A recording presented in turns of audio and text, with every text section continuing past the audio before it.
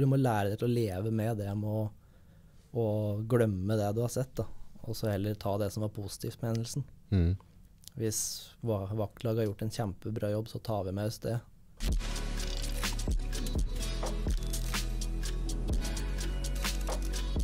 Tre, to, en. Velkommen til Nordpodden, Tommy Kleven. Takk for det. Takk for det. Brannmann, Ja. Fulltid? Ja. Ja. I Hedmarken brannvesen. Hedmarken brannvesen. Mm. Hvor er du stasjonert da? Hamar. Hamar. Mm. Hvordan ser en typisk arbeidsdag ut for deg da? Vanlig arbeidsdag er å gjøre stasjonsarbeid og ta unna utrykninger når det kommer. Ja. Og øvelser hver vakt.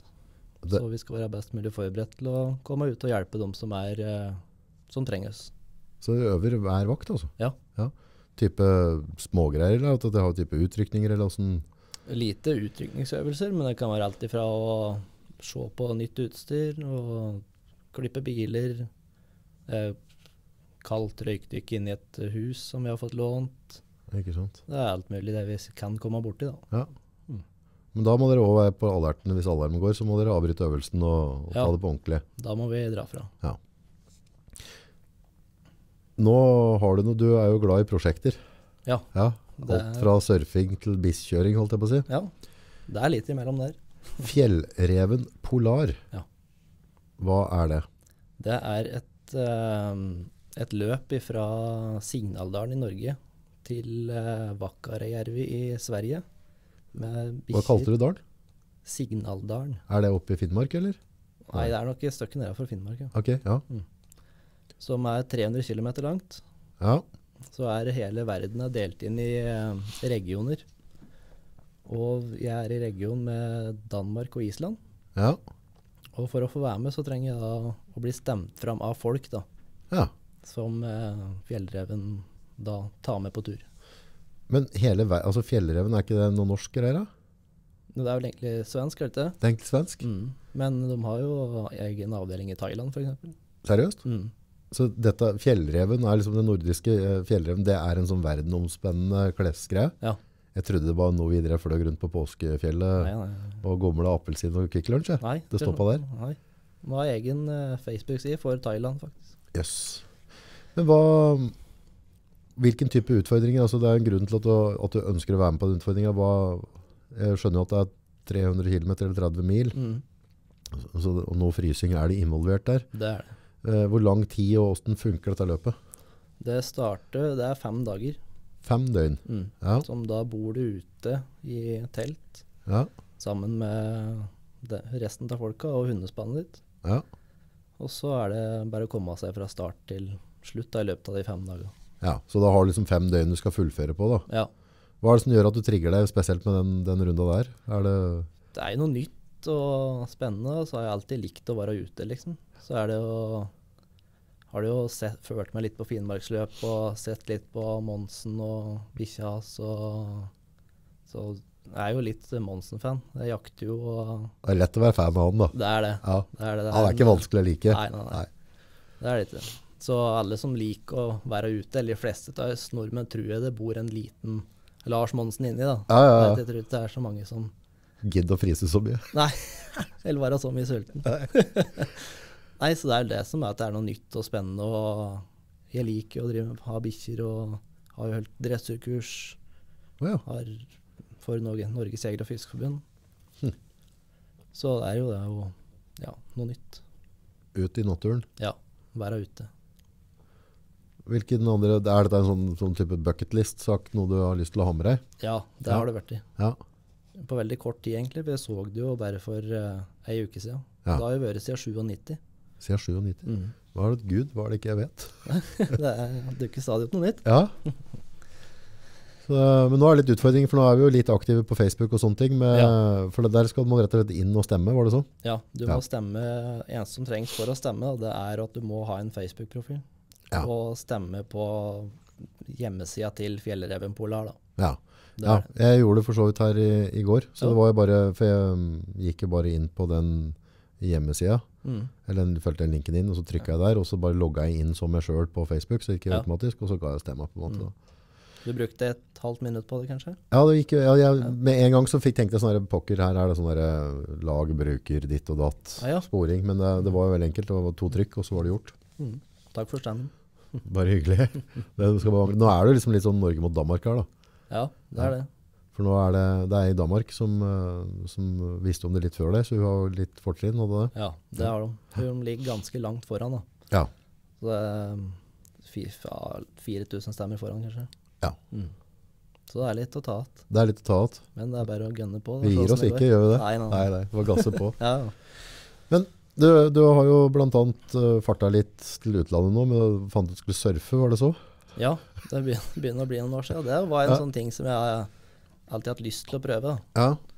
Så satt jeg på jobb mens jeg fortsatt jobba på Nortura på Rushaug, da. Ja. Og så en surfecamp nedi der, så stakk jeg dit og surfa ei uke, resten helt alene. ja. Så det var en kjempeopplevelse. Er det vanskelig, eller? Ja, det spørs litt og god balanse du har. Og, men du drikker mye saltvann i løpet av uka. Ja. Ja, får i seg litt. ja, det gjør Ja. det. Du får dosa di. Men det har ikke blitt sånn at du, at du driver og farter rundt og leter etter den perfekte bølgen nå, liksom? Nei, jeg har ikke vært så gæren, men jeg surfa da jeg var i Cape Town sist. Ja. Det var, eh, så hvis det er mulighet til å surfe der der jeg er på ferie, så Da gjør du det. da gjør jeg det. Ja. Brannvesenet. Ja. Der eh, du Åssen åssen starta den karrieren her?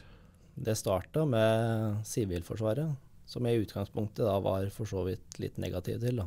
Ja, eh, ja, Hadde akkurat fått brev fra Forsvaret om at eh, du er fritatt, ja.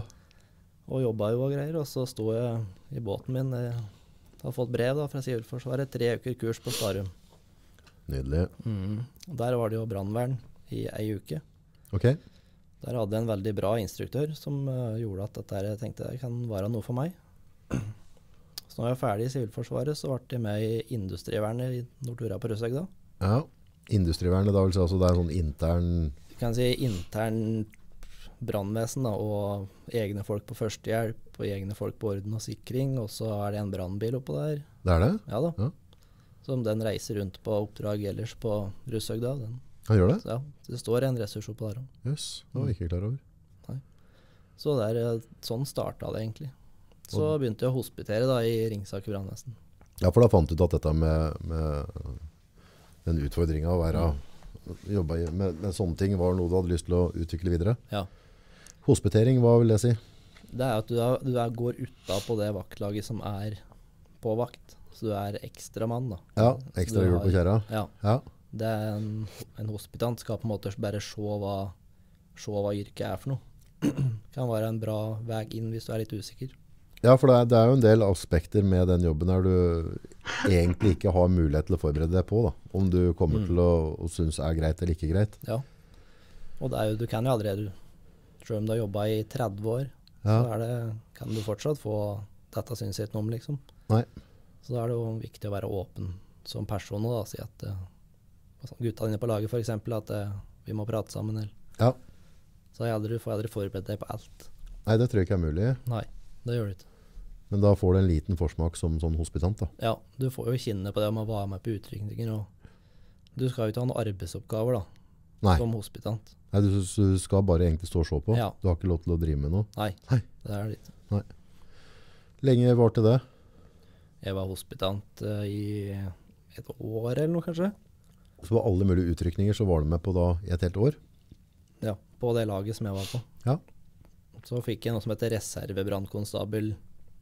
reservebrannkonstabilstilling i Ringsaker brannvesen. Okay.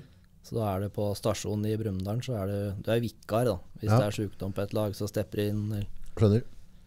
og hvis det er noen permisjoner eller et eller annet, så er du tilgjengelig. Mm. Så fikk jeg fast på laget i, i Brumunddal. Ja. Fast på vaktlag, så var jeg der ja, et par år. Vaktlag der nå, da vil si, bor dere på stasjonen da, eller er dere på en måte hjemme igjen, men dere er på 100% vakt den dagen? Da er, da er du ei vaktuke i måneden. Som okay. du er på hjemmevakt. da. Okay, Du må ja. kjøre til brannstasjonen, og så må du dra ut på utrykning. ja. Men da er du der på dagtid og driver med forfallen og sånne ting attåt? Nei, da er du kun hjemme. da. Kun hjemme. Ok, Mm. så da er du ved utrykning. Ja, Ja. du reiser kun på utrykning, rett og slett. Ja. Mm. Så ble ikke det nok? Nei, det ble jo fort målet å drive med dette på heltid.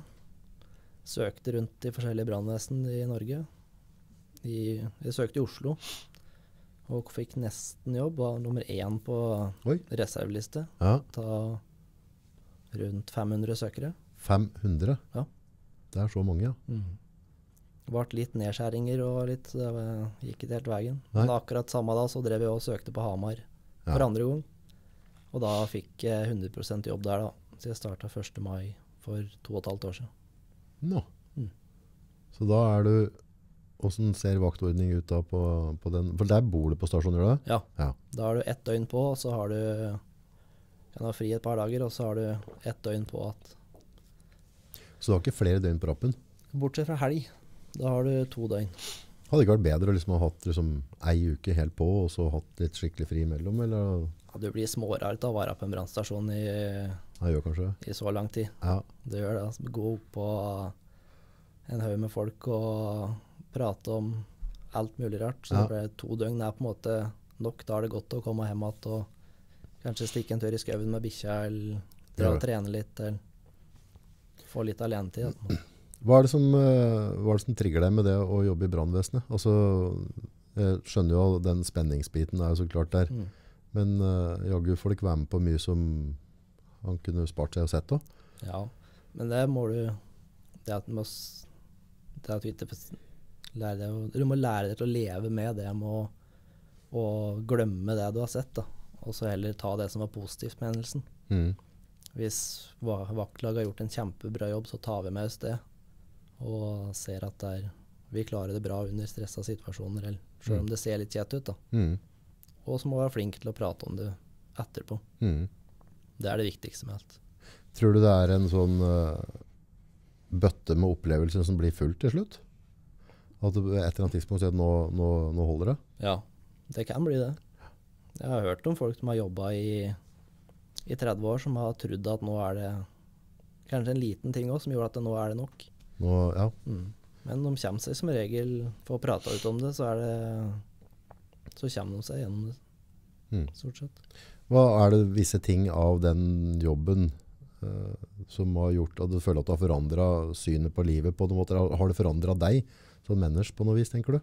Ja, det har det. Jeg har vært Jeg setter jo mer pris på Setter mer pris på er feil å si, men du bryr deg enda mer om dem du har rundt deg, da. Ja. At de skal ha det bra. og Skal de ut og kjøre bil, så si, kjør forsiktig. eller Kjør forsiktig hjem igjen hvis du må gjøre og drikke kaffe. For du vet at det er ikke så mye som skal til før det går galt. Men så er det så små marginer Ja, det er det. på, på skikkelig galt og gæli, på en måte. Ja. Det er Enten så skader du deg ikke da ved en alvorlig smell, eller så går det Rett og skauen. rett skauen, rett og slett. Ja, det er sånn enten-eller. Mm. Trafikkulykker er vel kanskje noe som i hvert fall Nå har ikke noe statistikk på det, men jeg føler at det blir bare mer og mer av det, egentlig. Så det Ja. må jo være en ganske stor del av jobben deres å, å være ute og klippe biler. Det er sjelden vi klipper, faktisk. Ja. For det er eh, Stort sett så er det, det er mye småsmeller, da. Ja. Nå som det har blitt firefelt, det blir firefeltsvei og midtdelere, og Det gjør så har det blitt mye, mye mindre. Ja. Gamlekara sier jo at fra Hamar og sørover så var de ute hver uke på ganske alvorlige smeller på gamleveien. Gamle, da, før de bygde ny E6. Gjorde det, ja. Så at det blir en ny vei rundt, rundt i distriktet vårt, det er sikkert for alle. det. Hva skjer mentalt hos deg eh, når det går en alarm? Eh, Du får beskjed om det er trafikkulykke. Mm. Eh, En vei kanskje som vet det er stor hastighet på. Hvordan, hvordan begynner dere på en måte å mentalt forberede dere på Nei, Vi prater jo litt i bilen på at uh, Hører litt på meldinga som vi får fra 110-sentralen, ja, på hva vi kan forvente oss. Får vi melding om trafikkulykke med fastklemt, så er det jo, da vet du at da, Da er det som er mulig? da er det smølig ordentlig. Mm. Og da er det jo bare å forberede seg og være klar og huske på alt du har øvd på, Mm. rett og slett. Sånn rent taktisk, hva skjer når dere kommer til stedet? Åssen går dere fram? Nei, utrykningslederen, eller, han tar jo eh, seg en runde for å se hva vi skal gjøre for noe. Så for å se skal vi Ved en husbrann, da, skal vi gå inn fra terrassen f.eks.? Skal vi eller er det best å gå inngangsdøra? Mm. Så, der, eh, så settes innsatsen derifra. Alle har sin funksjon på bilen. Mm. Det setet har sin funksjon, da. Har dere faste funksjoner hele tida? Rullerer hver vakt. Ruller hver Mm. Hvilken type funksjoner er det som er på en bil? Du har sjåfør Ja. og utrykningslederen. Mm. Utrykningslederen er fast. da. Ja. Det er en som har, det er jobben også å være leder på laget. Ja. Så han er ikke med inn i husa, på en måte? Nei, han står ute og Har overblikk? innsatsen derifra. Mm. Og så har du røykdykker 1 og røykdykker 2 i baksetet. Ja. Så er de Og sjåføren, han server jo Han skal serve røykdykkere med verktøy, sørge for vannforsyning, ja, drikke, gjøre til, tilrettelegge for at de skal gjøre en bra jobb, da. Mm. Så det er eh, Alle har siden. vi- Alle vet hva de skal gjøre, liksom. Scenarioet at uh, dere kommer ut på en eiendom, det er et hus. Mm. Uh, det står i, i, i skikkelig brann, eller altså mye røyk, altså det, det brenner godt og det er en røykutvikling. Mm. Uh, dere vet ikke om det er folk i huset. Hvordan, eh, hvordan måte, griper dere en sånn situasjon? Da er det bare å kline til og komme seg inn så fort som mulig. Inn. Inn. Ja. Men ikke, han ser jo ikke så godt inn i et hus som er fullt av røk. Nei, det er jo å få Hvis du har en, starta en brann, da, Mhm. så er det om å få ned temperaturen fra utsida og få satt ei vifte i døra. Få Vifte i døra, blir ikke det sånn at du fyrer trekk på ommen da?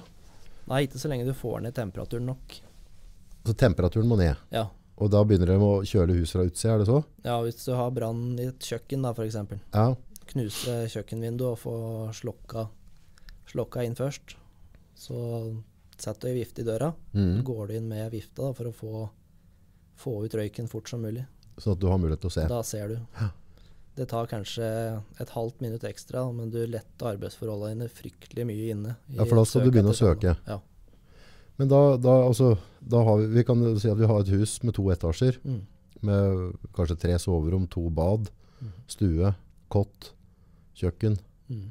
Hvordan begynner dere da å søke? Du må Da? begynne en. Starte i første etasjen, eller der det er mest sannsynlig at folk er. Ja. Er det på natta, kan det være på soverom. Så da tenker du kanskje annen etasje. Mm. Og folk ute er jo veldig nytte for oss. Hvis det er noen som har kommet seg ut, som kan si hvor et soverom er, Ja. Hen har du sett dem sist? Det er uh, Vi må bruke alle rundt oss for å bli gode sjøl. ja. Men det er jo å, å gå inn i et eller annet sted som brenner, og det er røyk. uh, det, er, det er jo noen faremomenter med det. Du skal jo ikke tulle deg bort der. Nei, det skal du ikke. Men går røykdykker 1 og 2 Går dere i hopus innover? Vi skal alltid ha kroppskontakt. Så det, alt, det toucher alltid? Ja. Og hvis du føler at det ikke er noen som toucher deg, så da, da er det noe feil? ja. Ja. Så skal du Du har jo alltid med deg slange. Du skal aldri slippe slangen din. da. Den er jo livlina di utad. ja, for da har du mulighet til å følge den på tur Ja. ut. ikke Ja. Så den har du jo Du skal ha fryktelig god sikt for at du skal slippe den å gjøre noe annet enn å sitte sammen med makkeren din. Hmm. Er det noen sånne gråsoner på når dere ikke bør gå inn, og når dere bør gå inn? Altså at her brenner det altså det her, Vi får ikke slokka varmen, men vi mistenker at det er noen her inne. Da er det jo med å vi, starter, vi skal helst starte en innsats fra utsida. da. Vi har sett at det har størst effekt og, og gjør miljøet vårt og påkjenninga vår eh, mye lettere. For du får, hvis du får dempa varmen mye fra utsida før du stuper inn, Ja, så blir det ikke så varmepåkjenning på deg sjøl, og du holder mye lenger på energien. ja for det, det blir varmt. Det blir fryktelig varmt. Okay. Det gjør det. Uansett om du klarer å krype langs gulvet, så er det gørrvarmt. Det er skikkelig, liksom. Altså, for det, det har jo brannhemmende tøy, så klart. Ja? Så det, det er ikke boblejakke, dette her. Nei. Men, eh, men temperatur sånn at du er bare gjennomsvettet. Altså ligger, du på, ligger dere oppunder en grense på hva Du Hva du- kan ha feber når du går ut igjen. Du kan få feber av det. Ja, eller at du, kroppstemperaturen din øker såpass så du har febertemperatur i kroppen. da, kan du si. Lenge kan det henge da? da? Nei, det er borte så fort du har fått deg litt væske og Ja. sånn, fått kjølt deg ned litt og får ta det tøyet. Og, Men da har du en del følelser du må jobbe med. da. Det er kanskje mørkt, for strømmen har mest sannsynlig gått der. Du Mm. har lyset ditt, du har røyk, du har varme, og du har usikkerhet på om det er noen der inne. mm. Hvordan, hvordan takler du dette der? Jeg tror det er åssen uh, du skal takle det. Du må ta det for det det er. Og ha, bare tenke at du er god på jobben din, og du vet hva du skal gjøre. Mm. Akkurat som en sveiser som skal sveise et eller annet. Han er jo kjempegod på jobben sin. Og jeg Mm. må være god på jobben min for å gjøre den lettest mulig for meg sjøl nå og i framtida. Mm. Har du vært, eh, vært borti tilfeller der dere har gått inn og fått hjulpet folk ut? Ja, det har vi. Men da var det ikke fullt utvikla brann. Da glemte jeg at på komfyren og lå og sov, liksom. Men røyk er jo like farlig det som varmen. Det er det. Det er røyken som dreper. Ja, ja for det er stort sett så er det den som tar oss. Ja. Ja. For du, du dør av røyken lenge før enn at du brenner opp. Ja, gjør det, ja. Det gjør du. Ja. Så det er viktig med gode røykvarslere. Nå har det vært røykvarslerdagen i 1.12., så er det, har du ikke sjekka batteriene, så er det på det nå. Jeg har to døtre. Mm. Uh, hun eldste på tolv er ikke så hard på det nå, men nå har jeg på seks. Ja. Og hun har jo hatt dette i barnehagen osv. Så, Ja, videre. ja. så der må jeg løfte opp. Og så må vi, altså der må vi sjekke. da. Mm. Så disse jentene mine de har ganske bra kontroll på både slokkeutstyr og ja, ja. røykvarsel. Det hadde ikke jeg da jeg var liten. Nei. Så at det har blitt et fokus på de små nå, det er uten Mm. tvil. Ja. For det er liksom sånn, eh, Spør du minstedattera mi, så vet hun hvor varsler er. Og, ja, så bra. Ja, så hun følger med, liksom. Så det er liksom, hun forlanger det at vi skal ta en runde. Så det, men jeg tenker jo litt på det. eh, sånn, eh, vi har en sånn type elektrisk vifte mm. som kan være med oss og hjelpe på litt varme sånn på, på morgenen. Eh, jeg lar aldri den stå på. Altså hvis jeg, jeg stoler vel for så vidt på meg sjøl at hvis det piper, så våkner jeg. Mm. Eh, men eh, jeg går aldri Altså, jeg reiser til på morgenen, men eh, det er ikke aktuelt for meg at den vifta står og går mens jentene mine ligger oppe og sover. Nei. For jeg reiser sånn cirka rundt fem eller noe, og så vet jeg dem står opp rundt sju. Eh, og de to timene altså, Mm. Jeg har jo vært med dere litt og og vet liksom alvoret av det. Mm. Så sjøl om vi har røykvarsler, da, så, så føler jeg meg ikke trygg Nei. på en sånn et eller annet du har kjøpt på Nille. Nei, det er, det er noe med det. Å sette av sånn som mobilladere og Ja, kan det ta fyr i mobilladere? Ja, det, det skjer rett som det er, at det tar fyr i mobilladere og mobilbatterier. Og, Seriøst? Ja, ja. Altså, dere opplever det at det tar fyr? Ja. Jeg trodde det, det var noe sånn VG-mat. Nei, bare- ja, nei, langt ifra. Så å lade på natta og, og lade på når de ikke er til stede, det er ikke å anbefale det, rett og slett. Er ikke det? Nei, ja. det? Der synder vi ganske kraftig. Der syndes det mye. Så du mener at det er en reell sjanse Ja, ja. at en iPad kan fatte til? ja. Det skjer, det. Så du, du la det ikke når du ikke har kontroll på det med? Nei, jeg lader jo på kvelden før jeg går og legger meg. Så la det ikke på natta? Nei. Jeg la det jo hver natt på Gjør det? nattbordet. Mhm, Ja. Det ser du. Men du kjenner jo de ladere blir jo varme. Det gjør de. Ja. Det er klart, Hvis de tar fyr, så er det jo en feil med dem. Det skal jo ikke skje, men det skjer. ja.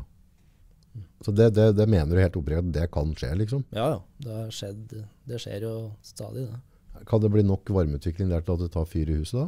Ja, hvis du har noe lett brennbart ved sida av, f.eks. Og ei gardin da, som du får litt varme på, det er raser bare opp på veggen, så er det jo nok energi og røyk til at det fort kan brenne resten av rommet. Det er jo helt utrolig at ikke noen har laga en patent med noe brannhemmende materiale så du kan sette rundt i ladeenheta. Ja, det kan du si. Altså det hadde vært veldig enkelt. Altså en sånn type kåpe som du bare setter over støpselet, Mm. der du har ladere. Mm. Så tar det fyr, så stopper det der. Ja, det var ikke dumt. Det må jo gå an å lage. Skulle tro det. Kanskje det er noe du skal drive med. Ja, kanskje. Ja. Nytt prosjekt. Ja, litt sånn. Jo, men det, det er jo ikke noe komplisert. Nei, det er det ikke. Og det, for sjansen, altså er jeg tom for strøm på kvelden når jeg kommer i natt, Mm. så lader jeg på natta. Mm. Alle gjør jo det. Ja, så greit er det. Så, så det, selv om du advarer meg nå, så vet jeg at jeg kommer til å synde der i fremtiden. Du kommer til å lade i natta, du. Ja, Mm. gjør nok det. Ja, kanskje det gitt. Jeg skulle laga et sånn eh, et, eh, funnet et system som kunne Ja. i hvert fall sikra det litt. Det er jo ikke noe hvilepute, men, Nei, det er det ikke. men å utdanne et helt folk og ikke lade Nei, det er jo stadig kampanjer, og alle brannvesen går jo ut og advarer mot å lade på natta og bruke vaskemaskin på natta, f.eks. vaskemaskin full av vann, kan det begynne å brenne? Ja, ja. Oppvaskmaskiner brenner jo. Alt brenner. Det er jo elektronikk i det. Ja. Så det er jo, Den så jeg ikke som en sånn potensiell brannsak, en oppvaskmaskin. nei. Eller eh, vaskemaskin nei. full av vann. Men det kan Mm. Det er klart det er jo ikke vann i det elektriske der. Det Så lenge det er strøm til stede, så kan det skje noe, og det begynner å brenne. Nå er vi jo jula i møte. Mm. Hva er det største feila som blir gjort da, tenker du? Nå har det blitt fryktelig bra i jula. Det har vært ganske stille. Jula er en ganske stille periode for oss, egentlig. Ja, For ja, det har blitt mye mer LED-lys, som ikke utvikler noe varme på juletrær. Det har blitt mindre levende lys generelt. Så det er jo å bare ta forhåndsregler og ikke gå fra ting, da. I grunnen. Men Levende lys, det, det var jo en synder tidligere, var det ikke? Jo, som levende lys på ei tørr gran, det er ofte lurt. kjempe... Ja. Men samtidig så ser du at du skal tenne opp et bål. Det er litt rart, for skal du fyre opp et bål eller et eller annet, Mm. jaggu skal du få slite litt for fyr. ja. Det er ikke alltid også er det sånn tingenes iboende faenskap? Liksom? Altså, Hvis du skal få fyr, så får du sikkert som regel ikke fyr. Nei, Skal du ikke få fyr, så brenner det jo som tusen. Ja. Ja. Så jeg jeg vet ikke hva som er grunnen til det, men det, Ja, Er det noen statistikker på hva som er liksom den største årsaken til, til husbranner? Og det er jo elektrisk. Det er elektrisk? Ja. Det er den som er på toppen. Huh. Det er det. Og det kan da med kanskje bruke en elektriker og sjekke over anlegg? Jeg vet ikke, eller altså, Ja, og det er jo stadig elkontroll rundt omkring, men de klarer ikke å ja, det ikke alt. Og det kan jo ha skjedd en skade på en ting, eller Mm. hva som helst. Så det er jo den som troner på toppen. Hvor mye utrykninger har vi i Hedmark? Nå er jeg ikke sikker på tallene, men i Ringsaker og Hamar så er det vel over helt sånn røffelig bare. mellom 2000 og 3000. I året? Ja. Å, så det er flere ganger om dagen? Ja, ja. Forrige vakta nå Jeg var ferdig på jobb i dag tidlig. Vi var ute fire turer på utrykning på ett døgn. Ja. På et eller annet tidspunkt så må du begynne å bli sliten.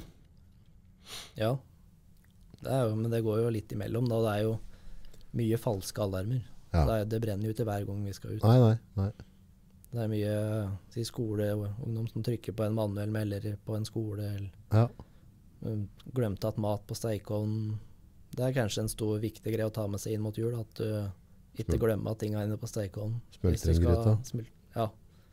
Den er Da kan du få fart på kjøkkenet Det kan vi anbefale for så vidt, for dere i Ringsaker brannvesten der var jo med og laga en film i forhold til det med eh, gryte som tok fyr. Og så gjorde vi det som ikke skulle gjøres, og helle på vann. Ja. Det var ganske altså, hvor, altså Det var jo snakk om En desiliter vann. ja, jeg tror det, det var ikke en kaffekopp det det var liksom en halv kaffekopp. Mm. Og, og så var kjøkkenet overtent på sekundet. Ja. Det var rett og slett eksplosjon. ja. Det ser ut som en eksplosjon. Det er helt utrolig at det går an, egentlig. Ja. Det er ganske sprøtt at, Mm. at det kan utvikle seg så voldsomt. Og det er jo så pass på når du er stressa og skal lage mat, og ikke sette at å gå fra bærestein til ved, liksom. Ja, og nå inn mot jul så er det mye sånn langtidssteking og langtidskoking. Ja, Så der er det fort gjort å, å glemme seg bort det er det. i en distré hverdag. Ikke minst det. Har du mye vakter i jula nå, vel? Jeg har fri nesten hele jula, så jeg skal Oi. jobbe første juledag. Oi, oi. Ellers har jeg ferie etter det. Ja. Mm. Så eh, det blir godt, det. Det blir det. Blir ikke, blir ikke lei av å, å være borti alle andre sin ulykke, holdt jeg på å si. Dere er jo Det er mye fint med jobben nå, da.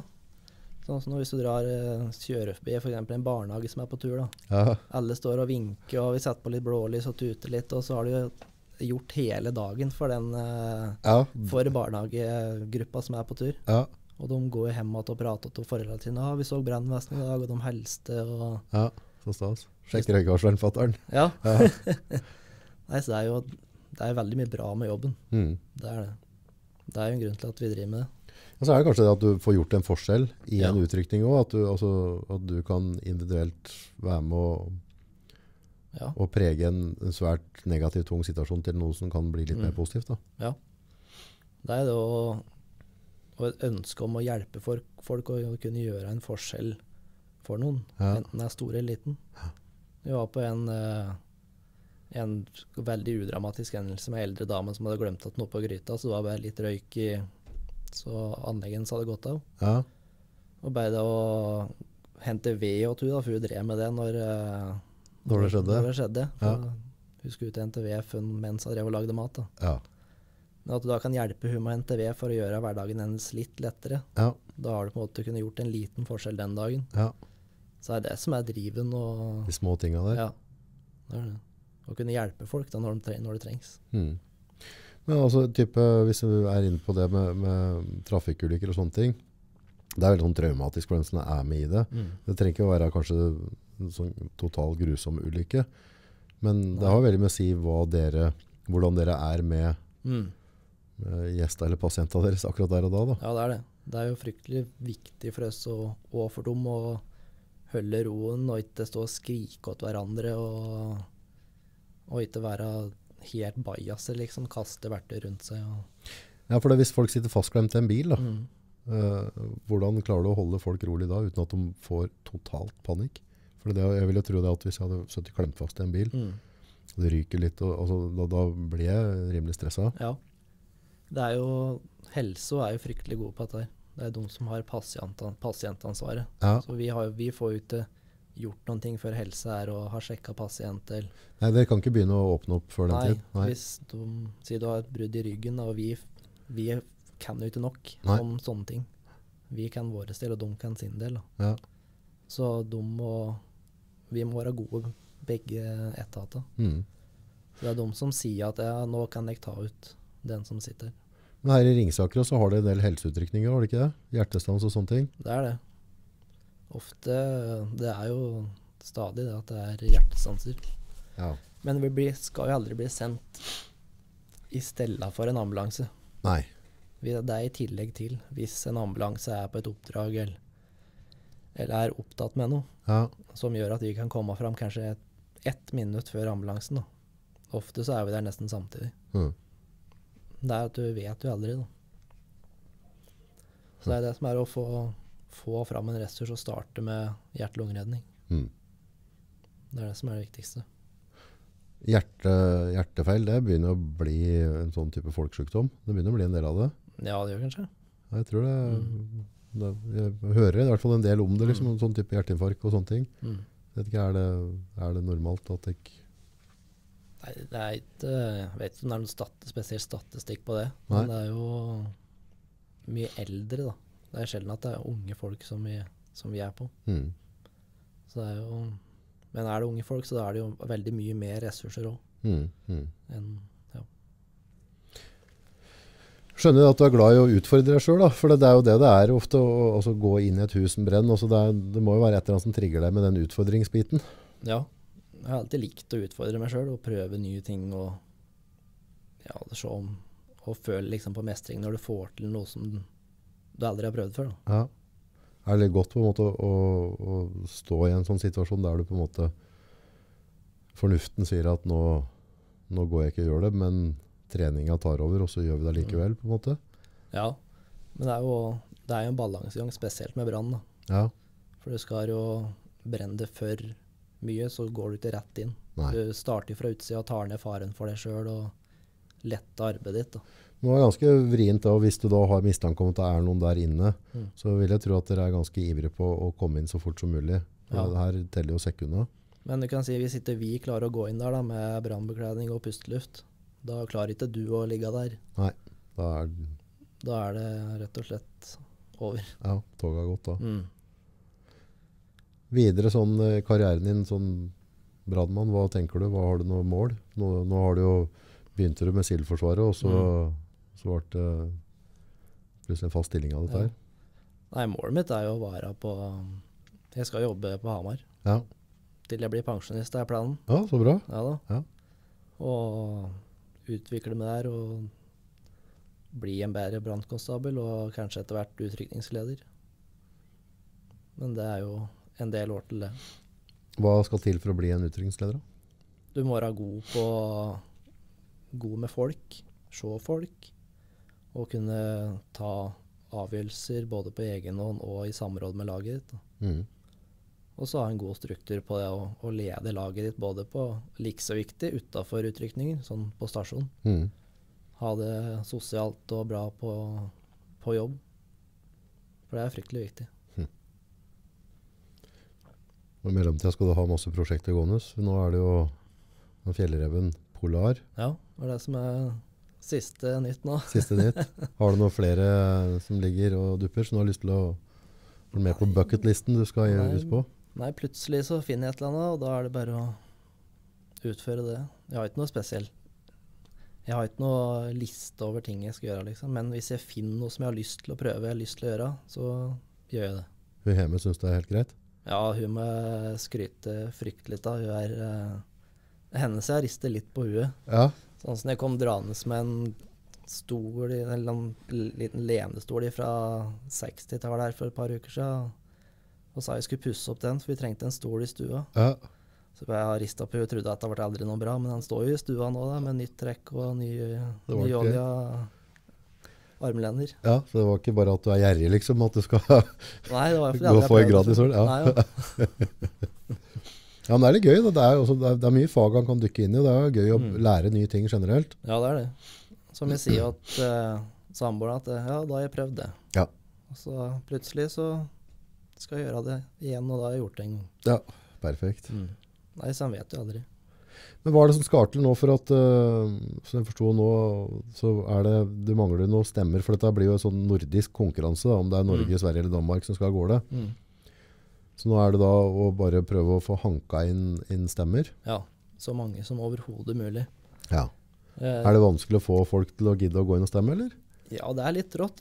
Ja, Det er noen som er flinke til å dele og stemme, ja, mens andre som Jeg tror det går fort i glemmeboka. At eh, du har sett det, og så tenker du at jeg skal gjøre det senere. Ja. Og så blir det ikke noe tall. Det er litt rart, for det, på en måte, min lille stemme, eh, det koster, meg, det koster meg ingenting da. Mm. Nei. Det er bare å gå inn og trykke. Mm. Men, eh, men samtidig så betyr det også mye for deg da. Ja, det At folk gidder å gjøre det. Mm. Det betyr fryktelig mye, for jeg er litt Jeg er opptatt av å måte gjøre det jeg kan for å uh, nå det jeg har lyst til, og gjøre det jeg har lyst til. Da. Ja, Jeg syns det er viktig at folk gjør det de har lyst til å gjøre. ja, Har du lyst til å dra og jobbe i Zimbabwe et halvt år med et eller annet, så gjør nå det. ja. For det sitter du på gamlehjemmet den 70 år og Nei, faen, jeg skulle dratt nedover, vet du. Da er det for sent, Mm. rett og slett. Hvorfor tror du ikke folk følger drømmene sine egentlig? Jeg tror det har vært veldig mye sånn at det, nei, vi må jobbe og tjene fryktelig mye penger. Vi må ha penger, penger, penger, og så tar fort familielivet over, da. Ja.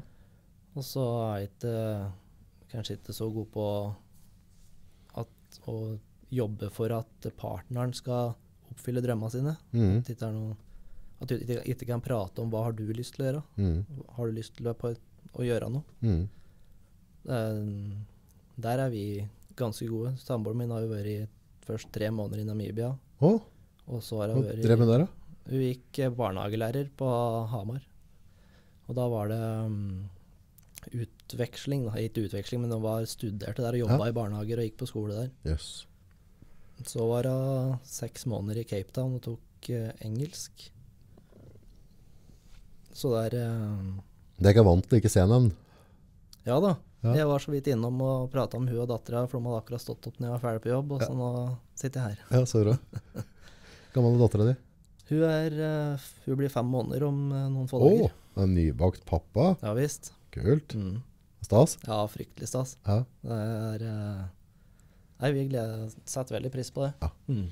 Jeg har jo to, to døtre. Mm. Når de bikker rundt to år, Ja.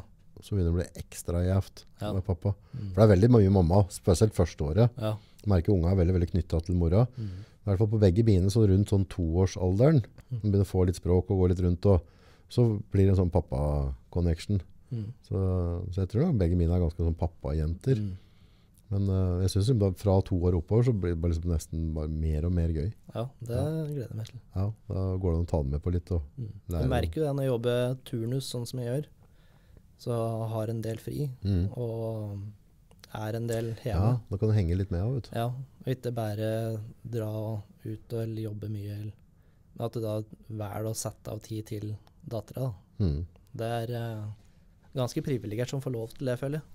Ja, det er ikke alle som uh, får mulighet til å føle på det og, og, og se hvordan det, det livet kan være. Nei. Så det syns jeg er veldig bra.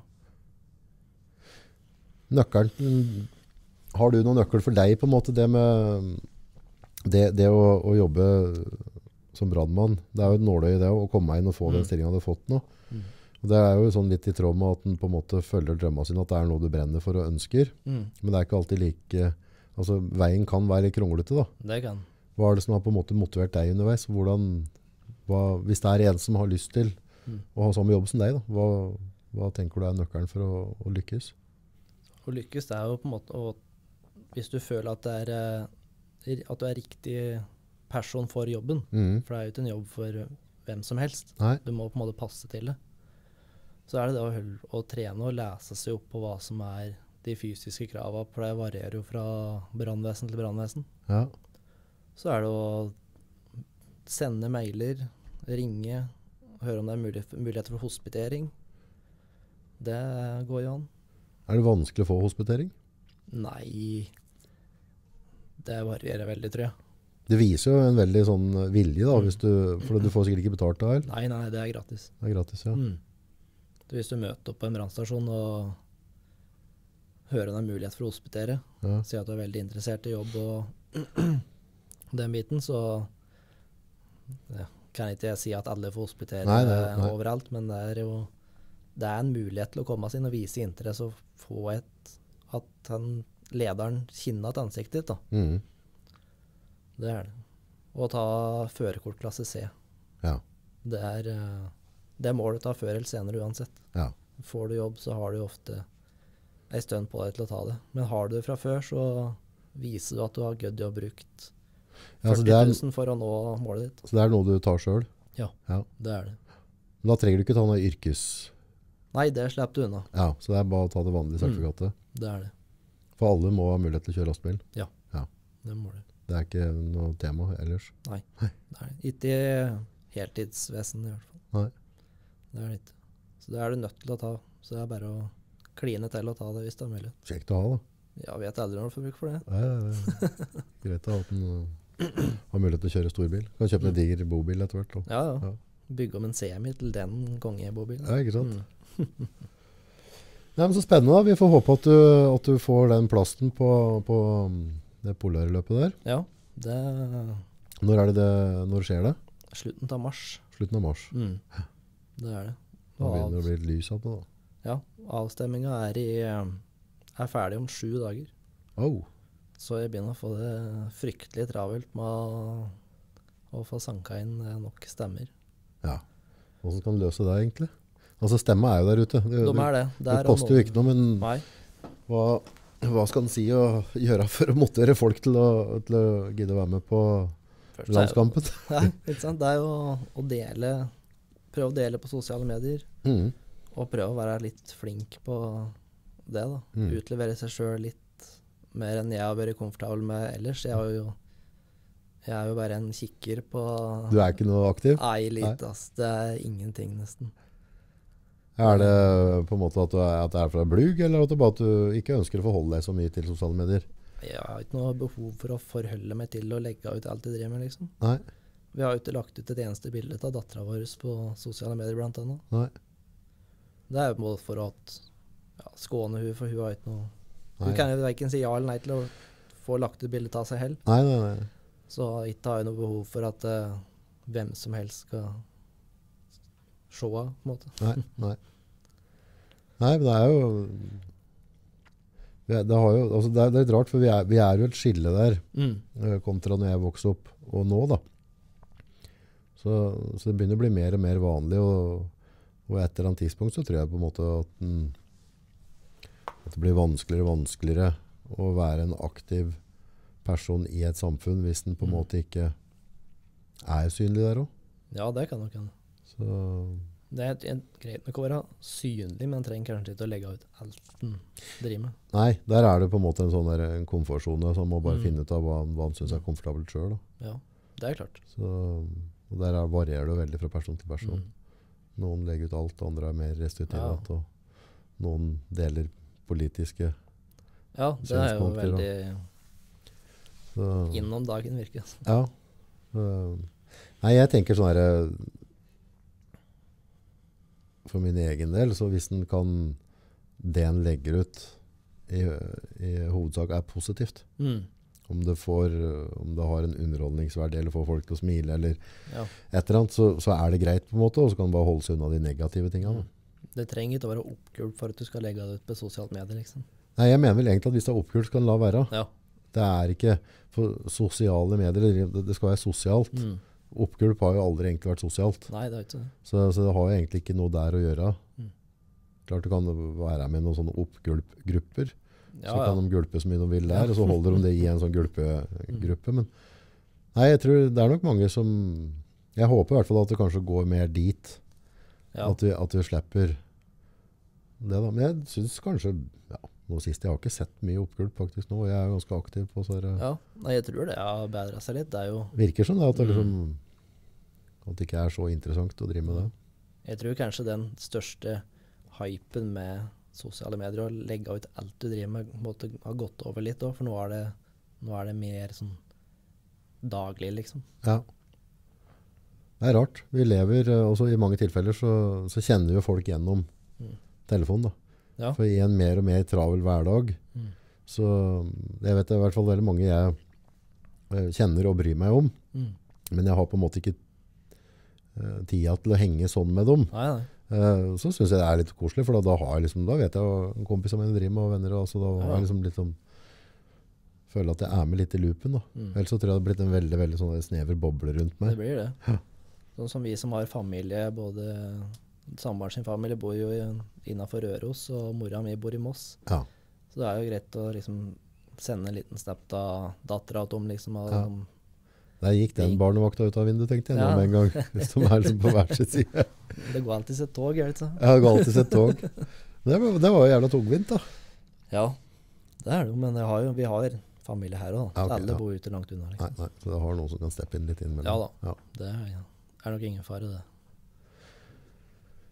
Nei, da er det egentlig Mm. å bare si lykke til. Og for dere av dere som orker å, å være med på landskampen, eller Mm.